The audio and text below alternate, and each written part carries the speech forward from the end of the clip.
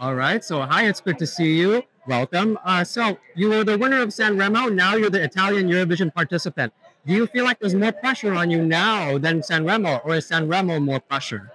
Well, uh, I don't know because uh, uh, Sanremo in Italy is a big thing, and uh, there's we very uh, strong pressure on Sanremo.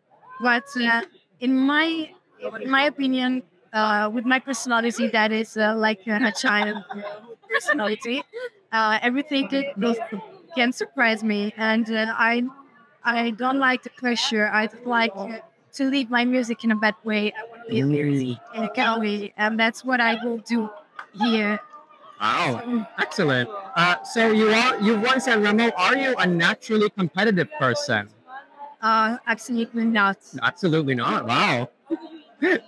So that's uh, weird for me, but uh, it's part of the game. So let's do that. And uh, one final question. So, um, because of Sanremo and because of your participation in Eurovision, people from all over the world outside of the Eurovision community are getting to know your song and your artistry. I mean, I love your songs from before La Noia, like uh, Ci Pensiamo Domani. Oh my gosh, I love that song so much. But more people are discovering your music now. What do you have to say to the international fans from outside of the European participating countries? Well, I just want to say that uh, when I when I'm on stage, uh, I'm myself.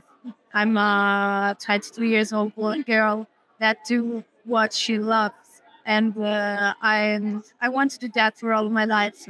And I don't want any any anything uh, over me.